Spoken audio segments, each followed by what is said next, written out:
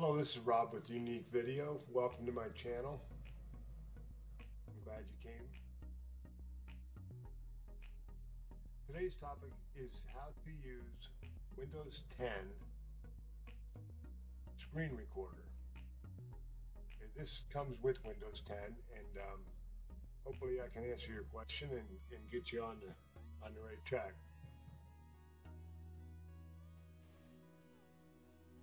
The very first thing you want to do is minimize the screen that you have on now that you're watching with me speaking to you. Okay, now that you've done that, go ahead and op open up Google and let that load up.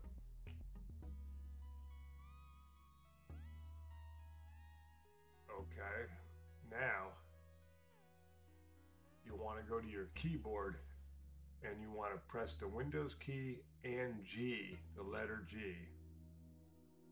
at the same time, and you will bring up Windows 10 screen recorder.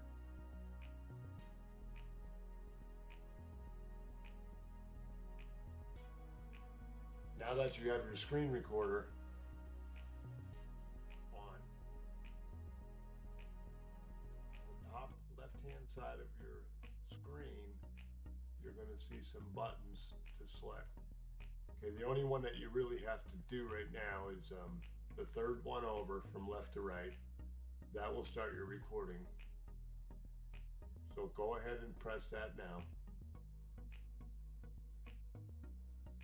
And you're going to see on the far right top of your screen, you're going to see your recorder the next thing you want to do is click off of the recorder anywhere in the white spot on Google. And when you do this, you'll see the only thing left is your small recorder on the top right hand side of your screen.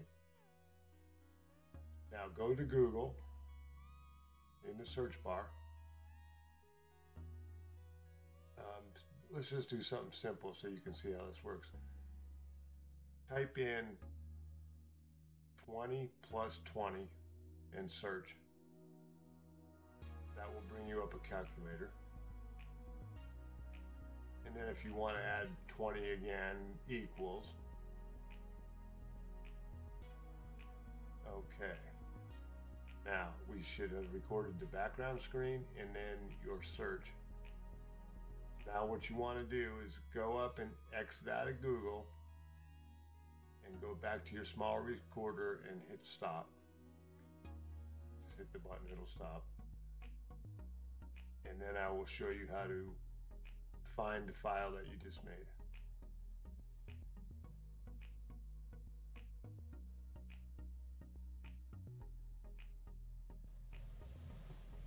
Now we will go down to our Windows search on the bottom left hand side of your screen.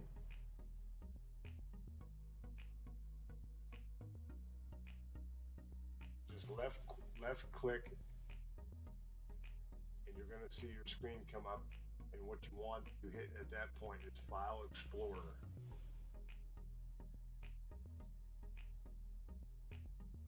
Okay, under File Explorer, you're going to have a quick access on the left. Scroll down until you see videos.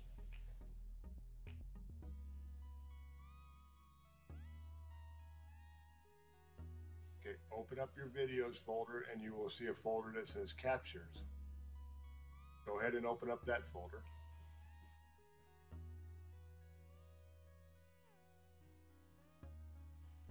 And you will see the capture that you just did with Google and your calculator right there.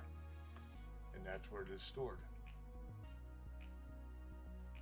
Now you can play this file and see what you just recorded.